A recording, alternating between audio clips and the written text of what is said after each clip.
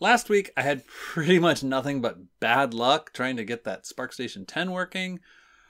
So this week, hopefully I'll have a little bit better luck adding some upgrades to this SPARCstation 5.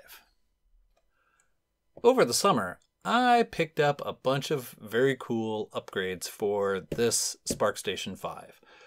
And while the SPARCstation 10 is away having a couple spa days to clean up organic matter, I figure I may as well go ahead and, and upgrade this. Now, I have three major upgrades, well, two major upgrades and one minor upgrade that I'm going to perform in this video. But I'm only going to do two of them initially, and I'll circle back around and do the third one, which is actually the most significant a little bit later. I want to make sure the other things work first and kind of do it step step by step. So let's go ahead and get started. I already loosened the screws on the back of this. Let's see if I can do this without. Okay. So the first upgrade, the easy upgrade is I have the correct, very, very yellowed uh, CD-ROM drive for this. It is a Toshiba, Toshiba model XM4101B. This was the same model that I, I mentioned in the previous video, and this has you know the actual Sun model numbers. So this is legit the right thing. And this should be e as easy as just popping that out and connecting this up because it's already, I'm looking at it, it looks like it's already jumpered properly for no termination and SCSI ID 6. Now, one thing about these drives that I have been told is they are single speed drives and they generally do not like um, recorded CDs, CDRs. So I don't know how how actually useful ta this upgrade will be, but it is what it is. And I'll have to figure out if I can can I stow that in here? I'll have to figure out some place reasonable to, to stow this so that I don't lose it. Now the other upgrade is much more fun, and that's going to be to replace the um, CG6 video card that's in here with the nice direct memory video card. Now this is uses the exclusive bus that only exists on the SPARCstation 5s and the 4s, maybe? So it's a 24-bit card. I'm curious how the performance is going to be because on the one hand, it has no acceler- no hardware acceleration, whereas the uh, CG6 does have hardware acceleration, but it uses this faster um, memory bus, so it has much faster direct access from the CPU to the video card. But on the other other hand, it's also 24 bits. So I I don't know how well this is gonna perform in practice, and I suspect is that lined up properly? Yeah, looks good. I suspect it will depend quite a bit on the application. Um, okay. well, that was a little bit boring. I mean, that's it for the hardware install of this part. So now I should be able to just boot up. Now there is one quirk when starting this up in order to have the upgrades actually take effect, but I'm going to show that from the other angle, so I'll have to uh, maneuver things around a little bit. So straight away we can see one good thing. It's detected the card. I'm going to break out of this. So kind of the blessing and the curse of Unix systems is everything is a file. The way that you communicate with devices is through files. And on old Unix systems like Solaris, these are actual files stored on the disk. So when you change hardware, something has to happen to create those those special uh, magic files that are called device nodes. Now on Linux and other modern systems, this ha- they aren't real files; they're a pseudo file system. It gets populated automatically, and life is good. But on here, we have to do a special step. I'm, I'm going to do two steps right here um, to create those files. Now, the first thing I'm going to do is I want to make sure that the new SCSI drive is detected. The, the SCSI CD-ROM. And yay, it's properly detected. So now, on Solaris, the way to get it to rebuild the device file system is to boot with dash R. And now it's going to go through and reboot and through the magic of editing, there will be a huge jump cut here to to go to the fun part where it actually um, shows up. I'll, I'll sh show a little bit here because it's going to log some information about that it's that it's um, creating the device files. Any second now. and each time as far as I'm aware, each time, uh, interesting, it's, oh, it says it in a bit. Each time the video card gets changed, I'm kind of pointing at the video card, even though it's about a mile out of frame. Uh, this, okay, so here it is, configuring devices, and then next it'll be configuring slash dev. Um, each time the video card gets changed or any other piece of hardware gets added, you, this step has has to has to be done to get to get it to to create all the devices. Otherwise, when you boot up, it will try to start X and it will look X Windows and it will try to look for the old graphics card and say, ah, we couldn't, everything's terrible and it'll crap out and you'll just have console. Um, the dirty secret is I already, already did this once and kind of botched it. So I had to do it again. And so the files are actually there. Uh, so I couldn't show it, it failing I mean, I could probably probably have gone in and manually deleted the files, or maybe done a reinstall, but I I didn't I, I didn't feel like mucking about with it. Trust me, you need to do this. All right, we'll we'll cut in a moment here to actually start it up in in X. All right, now it's gonna spawn the X server. This will take a bit. Ooh, pretty.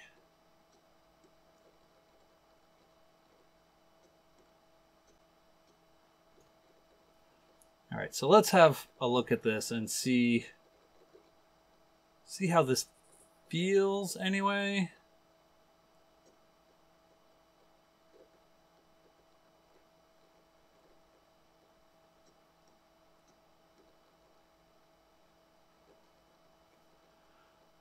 Because this card, like I said, has no acceleration, so I'm not sure. It's going to create a bunch of windows. This part's always excruciatingly slow. All right, so the real test is what...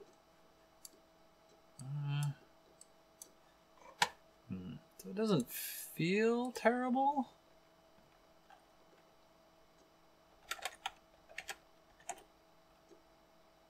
Yeah, I mean, that updates pretty decently. All right, so this seems...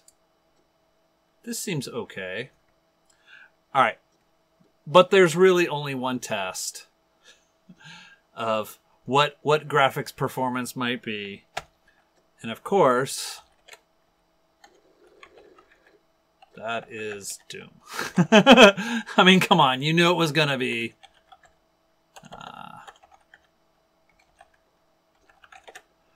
So what I'm going to do is, oh, that's right. There's a bunch of other stuff you have to set up. I, I, have, I have a script for this. What I'm going to do is um, I am going to benchmark Doom in a whole bunch of configurations. And I'm also, I think I also am going to benchmark uh, Quake because there is a version of Quake for this. Uh, and it still barfs out. Oh, that's not good. So Doom doesn't want to run on on the 24-bit card. Well, that's a huge bummer. Uh Oh, well, all right. Well, so then does does does Quake run then? That is weird. Uh,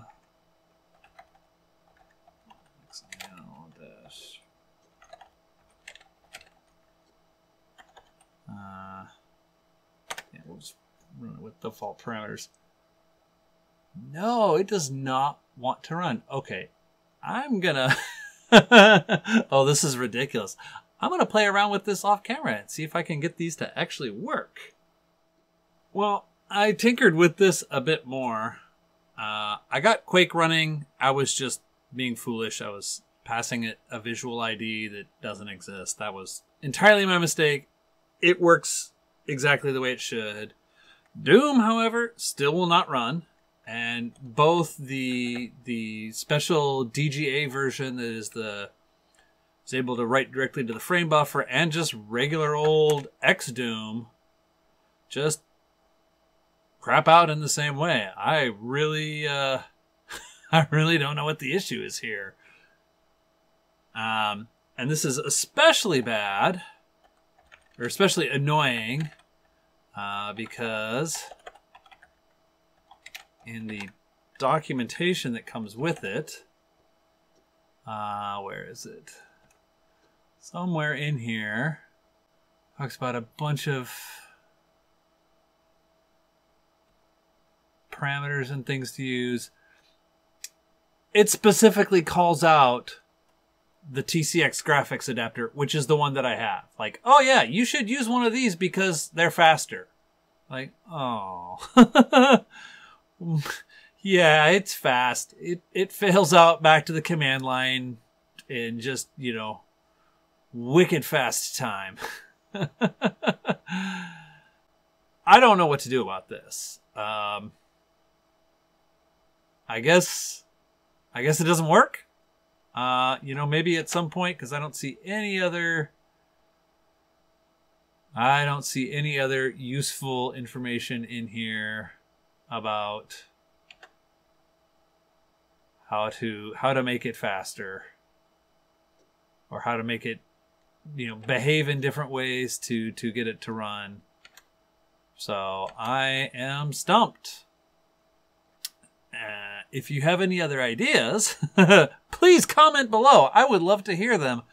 Otherwise, at some point, uh, you know, the source code for this is available. I might just try rebuilding it from source and playing around with it. I mean, if it's just bugs, I, I can fix bugs.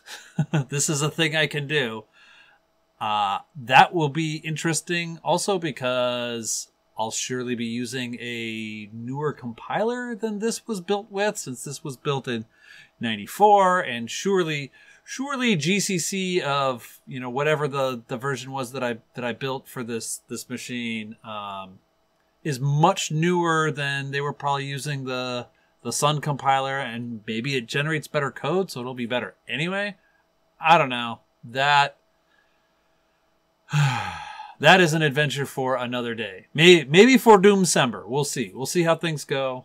Um, but now it's time to do the other upgrade, and hopefully that will be less annoying and less disappointing. All right, let's shut this down and let's give it a go. The next upgrade is significant. It is a completely new motherboard.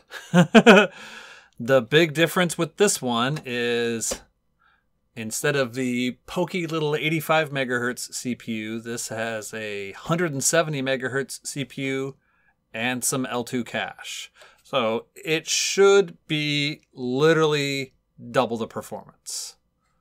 So I'm going to go ahead and extract the old motherboard and put the new motherboard in. Uh, these all come apart this should come apart in a pretty similar fashion to the, um, where was the, keep, there it is, to the uh, SPARCstation 10. And so now that I've done that a few times, this should go pretty smoothly, hopefully. Famous last words, of course. There's not too many connectors or things on this motherboard how does this want to come undone? No, just straight off. Okay. To give you a nice... I kind of like this technique on some of these cables that are hard to get at. They put a little pull thing on here so you can get a grip on it and extract it because that does not have very much play in it. And then should just be these two screws on the back, which are captive screws. Also such a nice design. And then this should just slide out. One last connector. All right. Out with the old. In with the new. Okay. Why is this? Oh.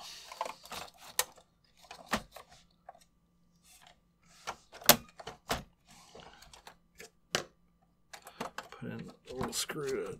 I'm not going to tighten this in all the way. Just want it to, to hold on to it so it doesn't slide around while I'm trying to install stuff. Just put all the connectors back on in the reverse order. Now it is my understanding that this should just work. Oops. I put the memory chips in the correct orientation, that always helps. So that is a bummer about the um, the 24-bit graphics card. I wonder, I mean, I suppose it's entirely possible that that card might work better, uh, work differently on this board. Maybe there's an update to Solaris that there's it's just some bug in the system software. I don't know, but that is well very bizarre to me. Uh,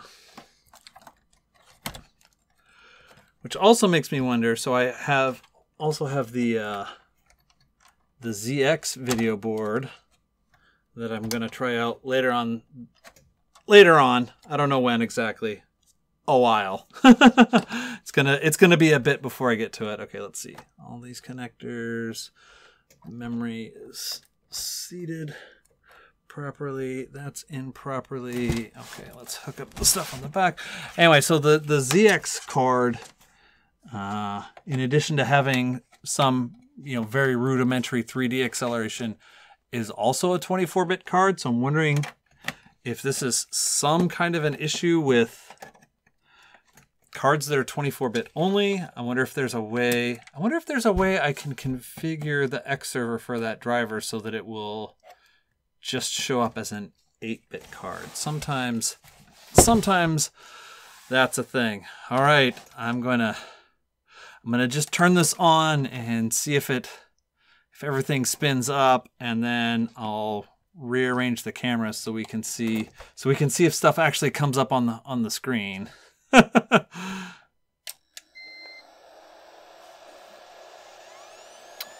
right, well, so far those noises are good. That is good enough for me. I'm to flip-flop this around and uh, we'll give it a try for real. Yay! So, first boot up, one thing I did off camera was I changed, I swapped the, the PRAM batteries um, because I know that the one that was in the other motherboard is all configured and ready to go and I don't know, I know that this one is good, um, but I don't know what state it's in or if it'll boot up and I just I want this to go as Oh, this looks good so far. I, I, I want this step to go as smoothly as possible. my my dream of dreams is that this will just boot up and actually I might need to do stop a um, uh, boot. I don't know for sure that I need to do this since the hardware shouldn't be different but it feels better to be safe than, than sorry. Uh,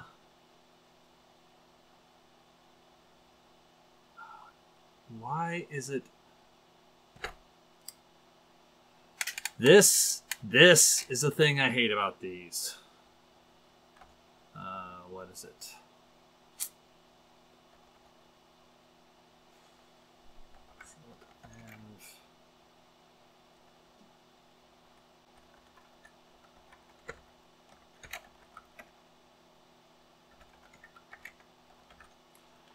Let's try again.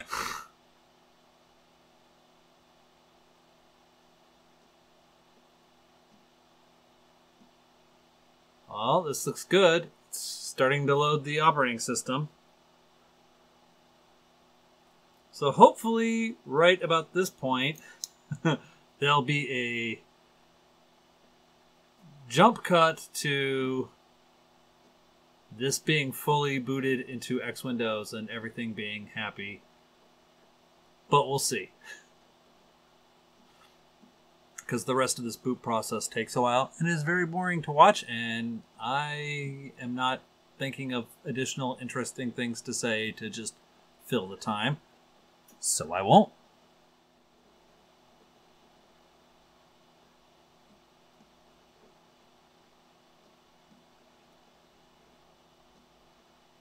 Yay! And it, like, completely booted. Alright. Uh, this time I'll actually rem remember to type in the correct password. Instead of typing in a correct password for the wrong user. uh, that's difficult to say. I don't know if this feels any faster or not. The, the real proof will be this part certainly doesn't seem, still feels painful.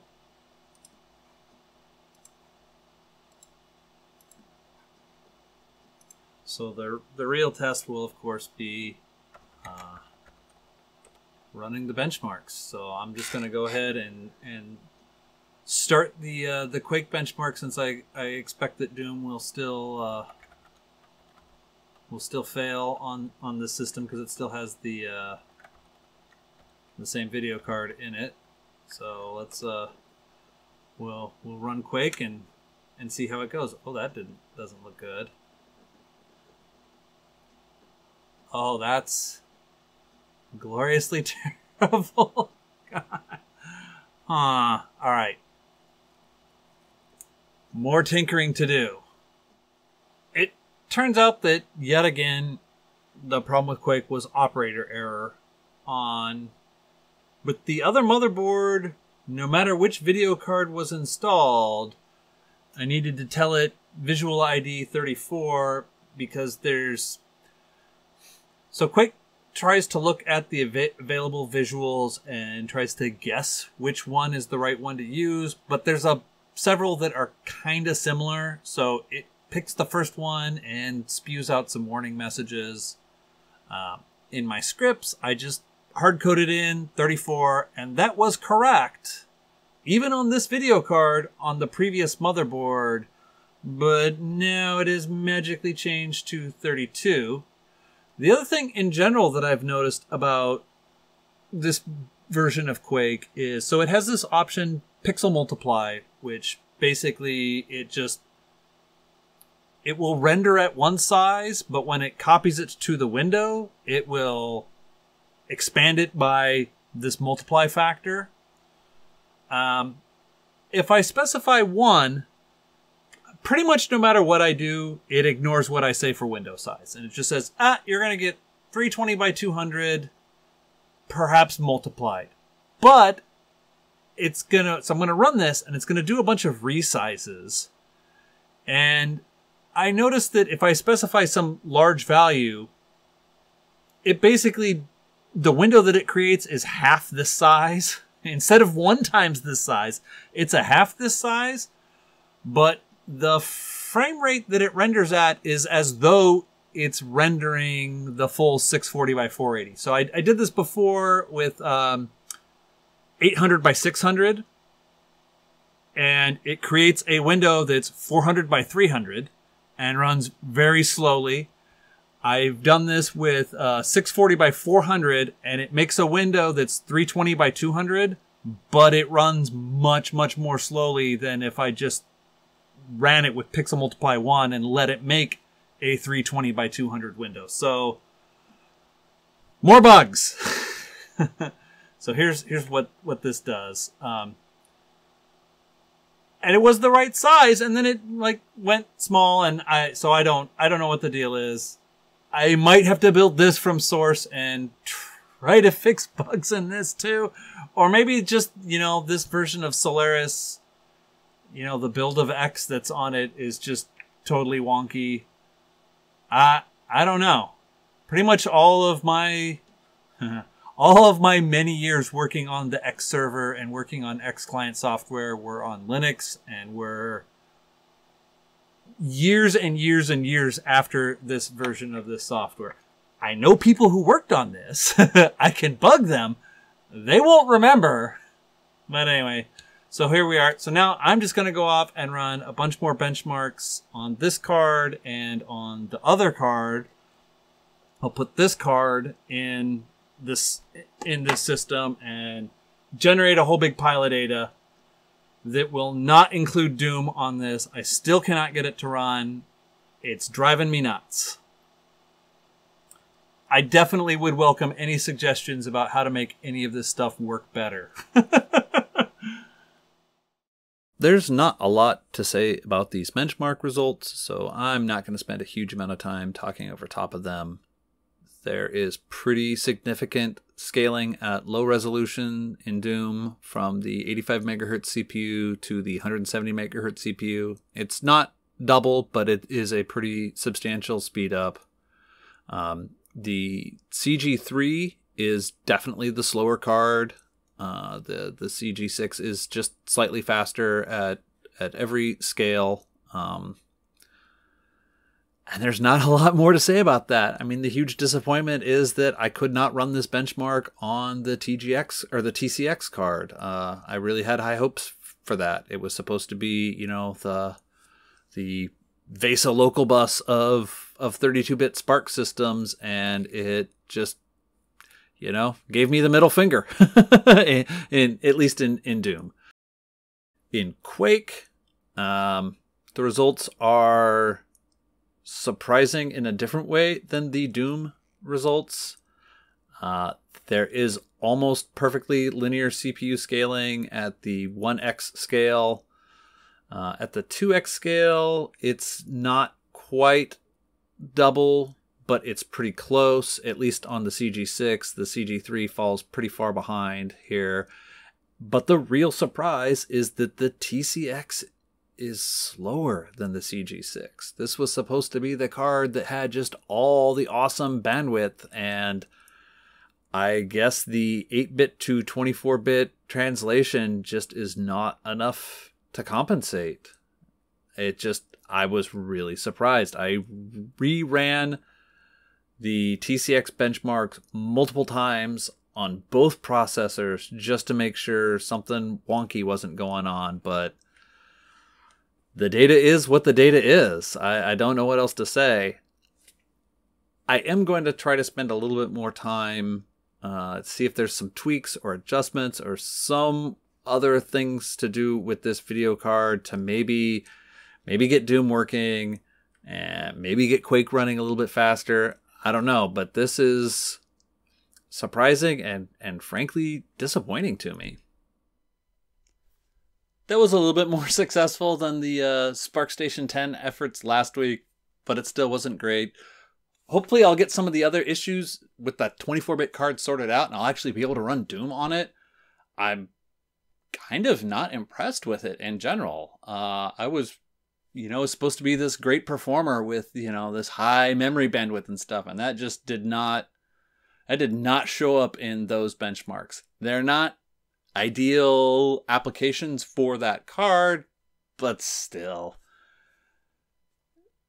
Next week, my video will cover Portland Retro Gaming Expo, which I will be at this whole weekend. So hopefully I'll be able to get, you know, do some editing, put something together Sunday night, Monday, and hopefully get something out on Tuesday. Fingers crossed. We'll see how how tired I am after the show. It's always a lot of fun if you're anywhere near close to Portland, go to the expo. It is it is more awesome than you think it is. So, until next time, try to remember the good stuff.